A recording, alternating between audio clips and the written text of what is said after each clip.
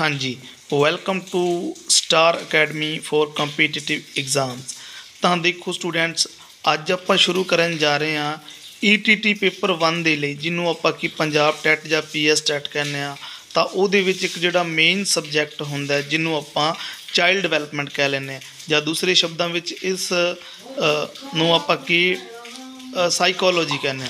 ਤਾਂ ਦੇਖੋ ਸਾਈਕੋਲੋਜੀ ਨੂੰ ਆਪਾਂ ਬਿਲਕੁਲ ਬੇਸਿਕ ਲੈਵਲ ਤੋਂ ਸਟਾਰਟ ਕਰਦੇ ਹਾਂ। ਬੇਸਿਕ ਲੈਵਲ ਤੋਂ ਸਭ ਤੋਂ ਫਸਟ ਨੰਬਰ ਤੇ ਆਪਾਂ ਰਿਸਰਚ ਮੈਥਡ ਪੜਾਂਗੇ ਠੀਕ ਹੈ? ਤਾਂ ਦੇਖੋ ਸਟੂਡੈਂਟਸ ਰਿਸਰਚ ਮੈਥਡ ਐਕਚੁਅਲ ਦੇ ਵਿੱਚ ਹੁੰਦੇ ਕੀ ਆ? ਰਿਸਰਚ ਮੈਥਡ ਇੱਕ ਜਿਹੜਾ ਟੀਚਰ ਹੈ ਨਾ, ਜਿਹੜਾ ਟੀਚਰ ਆ ਪ੍ਰਾਇਮਰੀ ਟੀਚਰ ਹੈ, ਜਾਂ ਸੈਕੰਡਰੀ ਸਕੂਲ ਦੇ ਵਿੱਚ ਟੀਚਰ ਹੈ, ਜਾਂ ਹਾਇਰ ਸੈਕੰਡਰੀ ਦੇ ਵਿੱਚ ਟੀਚਰ ਹੈ, ਜਾਂ ਫਿਰ ਕਿਸੇ ਕਾਲਜ ਦੇ ਵਿੱਚ ਟੀਚਰ ਹੈ। ਤਾਂ ਇਹ ਰਿਸਰਚ ਮੈਥਡ ਦਾ ਯੂਜ਼ ਉਹ ਆਪਣੀ ਟੀਚਿੰਗ ਲਾਈਫ ਦੇ ਵਿੱਚ ਕਾਫੀ ਜ਼ਿਆਦਾ ਕਰਦਾ ਵੀ। ਤਾਂ ਦੇਖੋ ਰਿਸਰਚ ਮੈਥਡ ਨੂੰ ਆਪਾਂ ਦੋ ਪਾਰਟ ਦੇ ਵਿੱਚ ਡਿਵਾਈਡ ਕਰਦੇ ਹਾਂ। ਸਭ ਤੋਂ ਪਹਿਲਾਂ ਡਿਸਕ੍ਰਿਪਟਿਵ ਰਿਸਰਚ ਮੈਥਡ ਤਾਂ ਡਿਸਕ੍ਰਿਪਟਿਵ ਦੇ ਵਿੱਚ ਆਪਾਂ ਸਭ ਤੋਂ ਪਹਿਲੇ ਕੀ ਪੜ੍ਹਨਾ ਹੈ? ਦੇਖੋ ਡਿਸਕ੍ਰਿਪਟਿਵ ਦਾ ਮਤਲਬ ਕੀ ਹੁੰਦਾ ਹੁੰਦਾ ਵਰਣਨ ਯੋਗ। ਮਤਲਬ ਕਿ ਕਿਸੇ ਵੀ ਚੀਜ਼ ਨੂੰ ਦੀ ਡਿਸਕ੍ਰਿਪਸ਼ਨ ਦੇਣੀ। ਉਸ ਨੂੰ ਪੂਰੀ ਤਰ੍ਹਾਂ ਬਿਆਨ ਕਰਨਾ, ਵਰਣਨ ਕਰਨਾ। ਠੀਕ ਹੈ, ਤਾਂ ਐਕਸਪਲੇਨੇਸ਼ਨ ਕਹਿ ਸਕਦੇ ਆ ਬੱਚਿਆਂ ਨੂੰ ਬੱਚਿਆਂ ਦੀ ਇਨਫੋਰਮੇਸ਼ਨ ਕਲੈਕਟ ਕਰਨ ਦਾ ਸਭ ਤੋਂ ਵਧੀਆ ਮੈਥਡ ਮੰਨਿਆ ਜਾਂਦਾ ਹੈ ਵੀ। ਠੀਕ ਹੈ? ਤਾਂ ਦੇਖੋ, ਇਹਦੇ ਅੱਗੇ ਕਾਫੀ ਜ਼ਿਆਦਾ ਪਾਰਟ ਹੈ ਔਰ ਉਹਦੇ ਵਿੱਚੋਂ ਸਭ ਤੋਂ ਪਹਿਲਾ ਪਾਰਟ ਆਪਾਂ ਜਿਹੜਾ ਉਹ ਕਰਨ ਜਾ ਰਹੇ ਹਾਂ, ਉਹ ਹੈ ਆਬਜ਼ਰਵੇਸ਼ਨ ਤਾਂ ਆਬਜ਼ਰਵੇਸ਼ਨ ਜ਼ਿਆਦਾਤਰ ਸਟੂਡੈਂਟਸ ਨੂੰ ਪਤਾ ਹੀ ਨਹੀਂ ਚੱਲਦਾ ਜਿਹੜੀਆਂ ਆਪਾਂ ETT ਦੀਆਂ ਬੁੱਕਸ ਦੇ ਵਿੱਚ ਆਬਜ਼ਰਵੇਸ਼ਨ ਜਾਂ ਨਿਰੀਖਣ ਪੜ੍ਹਦੇ ਹਾਂ, ਤਾਂ ਸਟੂਡੈਂਟ ਨੂੰ ਨਹੀਂ ਪਤਾ ਲੱਗਦਾ ਕਿ ਆਬਜ਼ਰਵੇਸ਼ਨ ਐਕਚੁਅਲ ਦੇ ਵਿੱਚ ਹੈ ਕੀ। ਦੇਖੋ ਆਬਜ਼ਰਵੇਸ਼ਨ ਕੀ ਹੈ? ਆਬਜ਼ਰਵੇਸ਼ਨ ਜਿਹੜੀ ਹੈ, ਉਹ ਸਟੂਡੈਂਟ ਦੇ ਬਾਰੇ, ਉਹਦੇ ਬਾਰੇ ਪਤਾ ਕਰਨਾ ਕਿ ਸਟੂਡੈਂਟ ਦਾ ਨੇਚਰ ਕੀ ਹੈ, ਉਹਦਾ ਬਿਹੇਵ ਕੀ ਹੈ ਸਟੱਡੀ ਦੇ ਵਿੱਚ ਕੀ ਹੈ, ਠੀਕ ਹੈ ਨਾ? ਤਾਂ ਆਬਜ਼ਰਵੇਸ਼ਨ ਨੂੰ ਵੀ ਆਪਾਂ ਕੀ ਹੈ, ਦੋ ਤਰ੍ਹਾਂ ਦੇ ਨਾਲ ਕਾਊਂਟ ਕਰਦੇ ਹਾਂ। ਕਿਹੜਾ ਕਿਹੜਾ? ਸਭ ਤੋਂ ਪਹਿਲੇ ਨੰਬਰ ਤੇ ਆਬਜ਼ਰਵੇਸ਼ਨ ਹੋਗੀ ਫਾਰਮਲ ਔਰ ਸੈਕੰਡ ਕੀ ਹੈ ਇਨਫਾਰਮਲ ਠੀਕ ਹੈ, ਤਾਂ ਆਬਜ਼ਰਵੇਸ਼ਨ ਦੇਖੋ। ਆਬਜ਼ਰਵੇਸ਼ਨ ਦਾ ਮਤਲਬ ਨਿਰੀਖਣ ਕਰਨਾ। ਤਾਂ ਇਹਨੂੰ ਆਪਾਂ ਦੋ ਹਿੱਸਿਆਂ ਦੇ ਵਿੱਚ ਵੰਡਦੇ ਹਾਂ। ਇੱਕ ਤਾਂ ਫਾਰਮਲ ਹੋ ਗਿਆ ਔਰ ਇੱਕ ਹੋ ਗਿਆ ਇਨਫਾਰਮਲ ਦੇਖੋ ਫਾਰਮਲ ਕੀ ਹੈ? ਫਾਰਮਲ ਜਿਹੜੀ ਹੁੰਦੀ ਹੈ ਇਸ ਨੂੰ ਆਪਾਂ ਕੀ ਕਹਿੰਦੇ ਹੁੰਦੇ ਆ? ਦੇਖੋ, ਇਹਦੇ ਵਿੱਚ ਤੁਹਾਨੂੰ ਜੇਕਰ ਸਿੰਪਲ ਮੈਂ ਪੰਜਾਬੀ ਭਾਸ਼ਾ ਦੇ ਵਿੱਚ ਦੱਸਾਂ ਤਾਂ ਫਾਰਮਲ ਦਾ ਮਤਲਬ ਹੁੰਦਾ ਹੈ ਕਿ ਕਿਸੇ ਵੀ ਚੀਜ਼ ਨੂੰ ਕੋਈ ਵੀ ਚੀਜ਼ ਰਿਕਾਰਡ ਕਰਨਾ ਨਾ ਰਿਕਾਰਡ ਉਹਨੂੰ ਪਹਿਲੇ ਦੇਖੋ, ਤੀ- ਇੱਕ ਟੀਚਰ ਦੁਆਰਾ ਕੀ ਹੁੰਦਾ ਹੁੰਦਾ? ਜਦੋਂ ਵੀ ਉਹ ਆਬਜ਼ਰਵੇਸ਼ਨ ਕਰਦਾ ਹੈ, ਤਾਂ ਉਹ ਇੱਕ ਸਟੂਡੈਂਟ ਦਾ ਡਾਟਾ ਹਨਾ? ਸਭ ਤੋਂ ਪਹਿਲੇ ਉਹ ਡਾਟਾ ਕੀ ਕਰ ਲੈਂਦਾ ਡਾਟਾ ਕਲੈਕਟ ਕਰ ਲੈਂਦਾ ਕੁਝ ਸਟੂਡੈਂਟਸ ਜਿਵੇਂ ਉਹ- ਉਹਨੂੰ ਪਤਾ ਹੈ ਵੀ ਮੈਂ ਇਸ ਇਸ ਸਟੂਡੈਂਟ ਦੀ ਆਬਜ਼ਰਵੇਸ਼ਨ ਕਰਨੀ ਹੈ, ਤਾਂ ਉਹ ਉਹਨਾਂ ਸਟੂਡੈਂਟਾਂ ਦੇ ਨਾਮ ਨੋਟ ਕਰਦਾ ਉਸ ਤੋਂ ਬਾਅਦ ਉਹਨਾਂ ਦੀ ਐਕਟੀਵਿਟੀ ਨੂੰ ਕਾਪੀ ਦੇ ਉੱਤੇ ਨੋਟ ਕਰਦਾ ਹੈ, ਹਨਾ? ਹਰ ਇੱਕ, ਹਰ ਹਰ ਇੱਕ ਦਿਨ ਉਹ ਇੱਕ ਕਲਾ, ਆਪਣੀ ਕਲਾਸ ਦੇ ਜਿੰਨਾ ਵੀ ਸਟੂਡੈਂਟ ਦੀ ਆਬਜ਼ਰਵੇਸ਼ਨ ਕਰਨਾ ਚਾਹੁੰਦਾ, ਤਾਂ ਉਹਨਾਂ ਦਾ ਪਹਿਲੇ ਡਾਟਾ ਤਿਆਰ ਕਰਦਾ ਔਰ ਡਾਟੇ ਦੇ ਵਿੱਚ ਉਹਨਾਂ ਬਾਰੇ ਕੀ ਕੀ ਮਤਲਬ ਕਿ ਉਹਨੇ ਕਲਾਸ ਦੇ ਵਿੱਚ ਉਹਦੀ ਐਕਟੀਵਿਟੀ ਕੀ ਹੈ, ਬੋਲਣ ਦੇ ਵਿੱਚ ਕਿਵੇਂ ਹੈ, ਕੀ ਉਹ ਆਨਸਰ ਦੇ ਰਿਹਾ ਜਾਂ ਨਹੀਂ ਹੈ, ਤਾਂ ਹੋਰ ਗੱਲਾਂ ਦਾ ਵੀ ਉਹ ਕੀ ਹੈ, ਧਿਆਨ ਰੱਖਦਾ ਤਾਂ ਇਹਦੇ ਵਿੱਚ ਸਭ ਤੋਂ ਸਟਾਰਟ ਦੇਖੋ ਪਹਿਲੇ ਤੋਂ ਹੀ, ਪਹਿਲੇ ਤੋਂ ਹੀ ਉਹਦੇ ਬਾਰੇ ਆਬਜ਼ਰਵੇਸ਼ਨ ਕਰ ਲਈ ਜਾਂਦੀ ਹੈ ਨਾ, ਉਹ ਸਾਰਾ ਡਾਟਾ ਤਿਆਰ ਕਰ ਲਿਆ ਜਾਂਦਾ ਤਾਂ ਇਹਨੂੰ ਆਪਾਂ ਕਹਿੰਦੇ ਆ ਫਾਰਮਲ ਰਿਸਰਚ ਮੈਥਡ ਸੈਕਿੰਡ ਆ ਗਿਆ ਇਨਫਾਰਮਲ ਇਨਫਾਰਮਲ ਹਨਾ? ਤਾਂ ਪਹਿਲੇ ਵਾਲੀ ਨੂੰ ਰਸਮੀ ਕਹਿੰਦੇ ਆ, ਔਰ ਦੂਸਰੇ ਨੂੰ ਆਪਾਂ ਗੈਰ ਰਸਮੀ ਕਹਿ ਦਿੰਦੇ ਆ, ਹਨਾ? ਤਾਂ ਗੈਰ ਰਸਮੀ ਮਤਲਬ ਕਿ ਇਨਫਾਰਮਲ ਦਾ ਮਤਲਬ ਕਿ ਇਹਦੇ ਵਿੱਚ ਚੀਜ਼ਾਂ ਜਿਹੜੀਆਂ ਨੋਟ ਨਹੀਂ ਕੀਤੀਆਂ ਜਾਂਦੀਆਂ ਸਟਾਰਟਿੰਗ ਤੋਂ, ਕਿ ਆਪਾਂ, ਇਹ ਦੇਖੋ ਜ- ਇਹਨੂੰ ਇੱਕ ਐਗਜ਼ਾਮਪਲ ਦੇ ਨਾਲ ਆਪਾਂ ਸਮਝਦੇ ਹਾਂ, ਤਾਂ ਐਗਜ਼ਾਮਪਲ ਦੇ ਵਿੱਚ ਕੀ ਹੈ?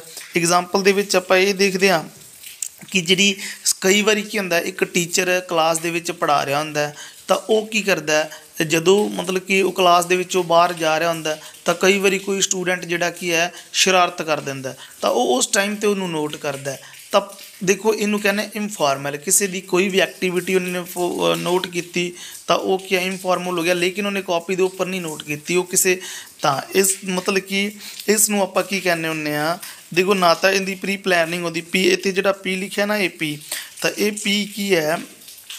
ਦੇਖੋ ਹਾਂ ਫਾਰਮਲ ਦੇ ਵਿੱਚ ਸਭ ਤੋਂ ਪਹਿਲੇ ਕੀ ਹੈ ਕਿ ਜਦੋਂ ਆਪਾਂ ਜਿਹੜਾ ਤੁਹਾਡੇ ਕੋਲ ਆਹ ਵਾਲਾ ਪੀ ਹੈ, ਪਹਿਲੇ ਵਾਲਾ ਪੀ ਪੀ ਦਾ ਮਤਲਬ ਕੀ ਹੈ ਕਿ ਇਹਦੀ ਪਲੈਨਿੰਗ ਸਭ ਤੋਂ ਪਹਿਲਾਂ ਪਲੈਨਿੰਗ ਕੀਤੀ ਜਾਂਦੀ ਹੈ ਕਿ ਕਿਹਦਾ ਆਪਾਂ ਆਬਜ਼ ਕਿਹਦੀ ਆਬਜ਼ਰਵੇਸ਼ਨ ਕਰਨੀ ਹੈ ਔਰ ਆਰ ਤਾਂ ਮਤਲਬ ਕਿ ਉਹਦਾ ਰਿਕਾਰਡ ਪਹਿਲੇ ਮੇਨਟੇਨ ਕੀਤਾ ਜਾਂਦਾ ਹੈ। ਇਹਦੇ ਵਿੱਚ ਨਾ ਤਾਂ ਕੋਈ ਪਲੈਨਿੰਗ ਹੁੰਦੀ ਔਰ ਨਾ ਹੀ ਕੀ ਹੈ ਰਿਕਾਰਡ ਹੁੰਦਾ। ਤਾਂ ਇਹ ਸੀਗਾ ਆਪਣਾ ਸਭ ਤੋਂ ਪਹਿਲਾ ਪਾਰਟ ਆਬਜ਼ਰਵੇਸ਼ਨ ਡਿਸਕ੍ਰਿਪਟਿਵ ਮੈਥਡ ਦਾ। ਠੀਕ ਹੈ? ਆਈ ਹੋਪ ਕਿ ਸਾਰਿਆਂ ਨੂੰ ਬੜੇ ਵਧੀਆ ਤਰੀਕੇ ਦੇ ਨਾਲ ਪਤਾ ਚੱਲ ਗਿਆ ਹੋਵੇਗਾ।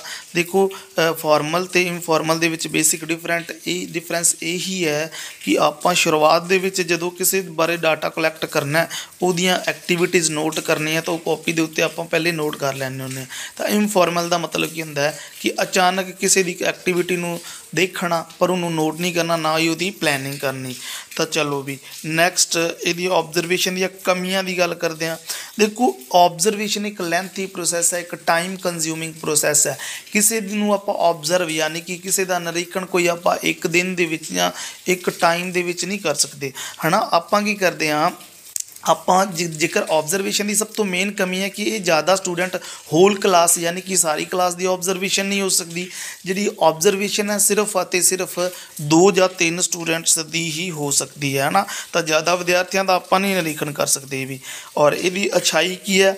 ਹਾਂ, ਇਹਦੀ ਅਛਾਈ ਜਾਂ ਇਸ ਦੀ ਜਿਹਨੂੰ ਆਪਾਂ ਕਰੈਕਟਰਿਸਟਿਕਸ ਕਹਿ ਸਕਨੇ ਆ ਬੈਨੀਫਿਟ ਕਹਿ ਸਕਨੇ ਆ ਉਹ ਮੇਨ ਇਹ ਹੈ ਕਿ ਇਸ ਮੈਥਡ ਦੇ, ਇਸ ਮੈਥਡ ਦੇ ਵਿੱਚ ਹੁੰਦਾ ਕੀ ਹੈ ਕਿ ਜੋ ਵੀ ਆਪਾਂ ਡਾਟਾ ਕਲੈਕਟ ਕਰਾਂਗੇ, ਜੋ ਇਨਫੋਰਮੇਸ਼ਨ ਕਲੈਕਟ ਕਰਾਂਗੇ, ਉਹ ਸਾਰੀ ਦੀ ਸਾਰੀ ਜਿਹੜੀ ਇਨਫੋਰਮੇਸ਼ਨ ਹੈ ਨਾ, ਉਹ ਆਪਾਂ ਨੂੰ ਕੀ ਹੈ, ਉਹ ਵਾਲੀ ਜਿਹੜੀ ਇਨਫੋਰਮੇਸ਼ਨ ਹੈ ਐਕੂਰੇਟ ਯਾਨੀ ਕਿ ਪੂਰੀ, ਬਹੁਤ ਜ਼ਿਆਦਾ ਵਧੀਆ, ਸਟੀਕ ਅੰਕੜੇ ਪ੍ਰਾਪਤ ਹੁੰਦੇ ਆ, ਠੀਕ ਹੈ? ਤਾਂ ਇਹ ਵਾਲੇ ਇਹਦੇ ਕੀ ਹੈ, ਇਸ ਚੀਜ਼ ਦੀ ਜਿਹੜੀ ਆਪਾਂ ਨੂੰ ਕੀ ਹੈ ਕਰੈਕਟਰਿਸਟਿਕਸ ਹੈ, ਠੀਕ ਹੈ? ਤਾਂ ਬਾਕੀ ਤੁਸੀਂ ਇਹ- ਇਹ- ਇਸ ਚੀਜ਼ ਨੂੰ ਮੈਂ ਤੁਹਾਨੂੰ ਦੁਬਾਰਾ ਫਿਰ ਸਾਫ਼-ਸਾਫ਼ ਇਹਦੇ ਦਿਖਾ ਦਿੰਨਾ ਕਿ ਜੇਕਰ ਤੁਸੀਂ ਕਾਪੀ ਵਗੈਰਾ ਤੇ ਨੋਟ ਕਰਦੇ ਹੋ ਨੋਟਸ ਬਣਾਉਂਦੇ ਹੋ, ਤਾਂ ਇਹ ਪਹਿਲੇ ਇਸ ਚੀਜ਼ ਨੂੰ ਨੋਟ ਕਰੋਗੇ। ਫਿਰ ਉਸ ਤੋਂ ਬਾਅਦ ਆ ਨੀਚੇ ਇਹ ਵਾਲਾ ਸਾਰਾ ਜਿਹੜਾ ਤੁਸੀਂ ਨੋਟ ਕਰ ਲੋਗੇ। ਕਮੀਆਂ ਨੋਟ ਕਰ ਲੋਗੇ, ਅਛਾਈਆਂ ਨੋਟ ਕਰੋਗੇ, ਤਾਂ ਇਹ ਚੀਜ਼ ਜਿਹੜੀ ਹੈ ਆਪਣੀ ਆਬਜ਼ਰਵੇਸ਼ਨ ਹੈ ਵੀ, ਠੀਕ ਹੈ?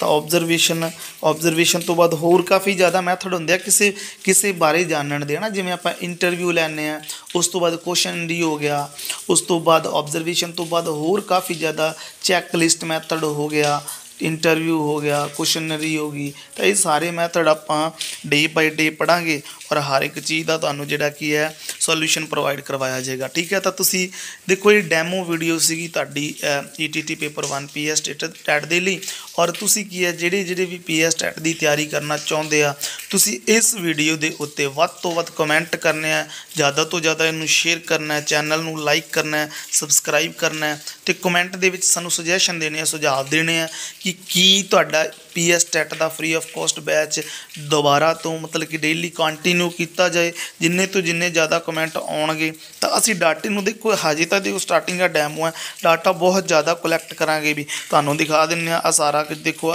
ਨੈਕਸਟ ਆਪਣੇ ਕੋਲ ਕੀ ਆ ਰਿਹਾ ਹੈ ਇੰਟਰਵਿਊ ਆ ਗਿਆ, ਫਿਰ ਉਸ ਤੋਂ ਬਾਅਦ ਕੁਐਸਚਨ ਦੀ ਕੀ ਹੁੰਦੀ ਹੈ ਇੰਟਰਵਿਊ ਦੀਆਂ ਕੀ ਫਾਇਦੇ ਹੁੰਦੇ ਆ, ਕੀ ਇਹਦੇ ਦੂਸਰੇ ਜਿਹੜੀਆਂ ਨੁਕਸਾਨ ਹੁੰਦੇ ਆ, ਫਿਰ ਨੈਕਸਟ ਆ ਗਿਆ ਚੈੱਕ ਲਿਸਟ ਚੈੱਕ ਲਿਸਟ ਤੋਂ ਬਾਅਦ ਰੇਟਿੰਗ ਕੀ ਚੀਜ਼ ਹੈ ਇਹਨੂੰ ਦੇਖੋ ਸਾਰਾ ਕੁਝ ਤੁਹਾਨੂੰ ਪੰਜਾਬੀ ਦੇ ਵਿੱਚ ਬਿਲਕੁਲ ਜ਼ੀਰੋ ਤੋਂ ਸਾਈਕੋ ਦਾ ਜਿਹਨੂੰ ਊੜਾ ਐੜਾ ਵੀ ਨਹੀਂ ਪਤਾ ਨਾ, ਉਹ ਜ਼ੀਰੋ ਲੈਵਲ ਪਤਾ, ਉਹਨੂੰ ਜ਼ੀਰੋ ਤੋਂ ਹੀਰੋ ਲੈਵਲ ਵੱਲ ਆਪਾਂ ਲੈ ਕੇ ਜਾਵਾਂਗੇ, ਬਸ ਤੁਸੀਂ ਰਿਸਪੌਂਸ ਦੇਣਾ ਵੀ, ਠੀਕ ਹੈ ਨਾ, ਤੁਸੀਂ ਆ ਦੇਖ ਲਓ, ਤਾਂ ਸਾਰਾ ਕੁਝ ਤੁਹਾਨੂੰ ਪੇਪਰ ਦੇ ਵਿੱਚ ਜਦੋਂ ਟੈਟ ਦੀ ਟੈਟ ਦਾ ਪੇਪਰ ਦੇਣ ਜਾਓਗੇ, ਜਿਨ੍ਹਾਂ ਦਾ ਟੈਟ ਕਲੀਅਰ ਨਹੀਂ ਹੋ ਰਿਹਾ, ਉਹਨਾਂ ਦਾ ਟੈਟ ਕਲੀਅਰ ਕਰਾਉਣਾ ਸਾਡੀ ਗਰੰਟੀ ਹੈ ਵੀ ਬਸ ਤੁਸੀਂ ਦੇਖੋ ਨੈਕਸਟ ਆ ਗਿਆ ਬਾਲ ਵਿਕਾਸ ਫਿਰ 3 ਡੋਮੇਨ ਹੈ ਸਾਰਾ ਕੁਝ ਕੋਗਨੈਟਿਵ ਕੋਗਨੀਸ਼ਨ ਡਿਵੈਲਪ ਕੋਗਨੈਟਿਵ ਡਿਵੈਲਪਮੈਂਟ ਕੀ ਹੁੰਦੀ ਹੈ? ਕੋਗਨੀਸ਼ਨ ਸਬਜੈਕਟ ਆਪਾਂ ਪੜ੍ਹਦੇ ਹਾਂ ਸੈਕੰਡ ਈਅਰ ਦੇ ਵਿੱਚ ਨਾ ਤਾਂ ਇਹ ਸਾਰੀਆਂ ਚੀਜ਼ਾਂ ਤੁਹਾਨੂੰ ਕੀ ਹੈ? ਪ੍ਰੋਵਾਈਡ ਅਸੀਂ ਕਰਵਾਵਾਂਗੇ। ਬਸ ਤੁਸੀਂ ਰਿਸਪੌਂਸ ਜ਼ਰੂਰ ਦੇਣਾ ਸਾਰਿਆਂ ਨੇ ਵੀਡੀਓ ਕਿੱਦਾਂ ਦੀ ਲੱਗੀ, ਹਨਾ? ਤਾਂ ਜੇਕਰ ਤੁਸੀਂ ਵਿੱਚ ਜਿੰਨੇ, ਜੇਕਰ ਤਾਂ ਘੱਟ ਤੋਂ ਘੱਟ 25 30 ਕਮੈਂਟ ਆਉਣੇ ਚਾਹੀਦੇ ਆ ਵੀ 25 30 ਕਮੈਂਟ ਆਉਣਗੇ, ਤਾਂ ਅਸੀਂ ਅੱਗੇ ਜਾ ਕੇ ਇਸ ਵੀਡੀਓ ਨੂੰ ਕੰਟੀਨਿਊ ਕਰਾਂਗੇ। ਕਿਉਂਕਿ ਤੁਹਾਨੂੰ ਵੀ ਪਤਾ ਵੀਡੀਓ ਨੂੰ ਬਣਾਉਣ ਤੇ ਬਣਾਉਣ ਤੇ ਟਾਈਮ ਕਾਫੀ ਲੱਗਦਾ ਨੋਟਸ ਵਗੈਰਾ ਪਹਿਲੇ ਤਿਆਰ ਕਰਨ ਤੇ ਵੀ ਕਾਫੀ ਟਾਈਮ ਲੱਗਦਾ ਹੈ ਨਾ ਉਸ ਤੋਂ ਬਾਅਦ ਉਹਦੀ ਐਡੀਟਿੰਗ ਹੁੰਦੀ ਹੈ, ਇਹਨੂੰ ਜਦੋਂ YouTube ਚੈਨਲ ਦੇ ਉੱਤੇ ਪਾਉਣਾ, ਉਸ ਤੋਂ ਬਾਅਦ ਉਹਨੂੰ ਐਡਿਟ ਕਰਨਾ ਟੈਗ ਕਰਨਾ ਵਗੈਰਾ ਕਾਫੀ ਜ਼ਿਆਦਾ ਮਿਹਨਤ ਲੱਗਦੀ ਹੈ। ਤਾਂ ਜੇਕਰ ਤੁਸੀਂ ਘੱਟ ਤੋਂ ਘੱਟ ਕੋਈ 25 30 ਜਾਂ 50 ਸਟੂਡੈਂਟ ਸਾਡੇ ਨਾਲ ਜੁੜਦਾ ਫਿਰ ਹੀ ਅਸੀਂ ਇਸ ਬੈਚ ਨੂੰ ਅੱਗੇ ਜਾ ਕੇ ਕੰਟੀਨਿਊ ਕਰਾਂਗੇ। So thank you thanks for watch this video